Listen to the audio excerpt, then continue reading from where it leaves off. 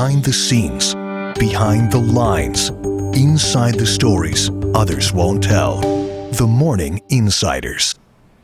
A man's car is stolen, then found, but police never call to tell him about, about it, and fees begin to rack up at the tow yard. The story started with a viewer tip, and while he ultimately decided not to go on camera, the Morning Insiders made an interesting discovery researching the dilemma.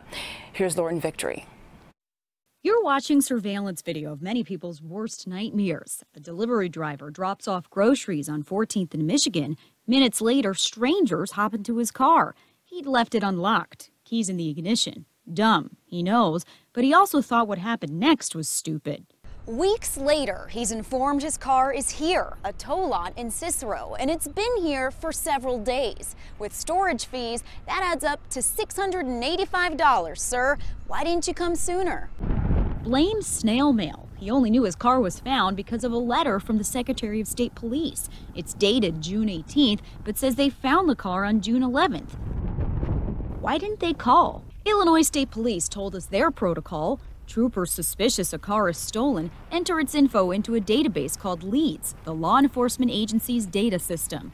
Once confirmed stolen, the department with the original case is notified and will contact the vehicle's owner about the recovery. In this case, Chicago police took the initial report, but apparently never followed up.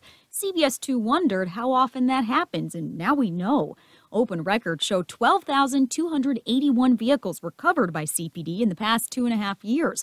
Only 1,516 owners were contacted. That's only 12%. Chicago police have an answer for this, written in their vehicle theft and wanted vehicles procedures policy.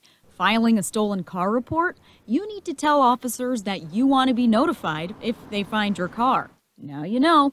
Lauren Victory, CBS 2 News. CPD could not tell us if the viewer signed the contract form. Now, a spokesperson for the Secretary of State said the letter to inform the viewer of his car's whereabouts was a courtesy.